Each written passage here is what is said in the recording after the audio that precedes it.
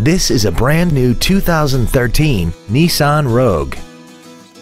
This crossover has a continuously variable transmission, an inline four-cylinder engine, and the added safety and control of all-wheel drive.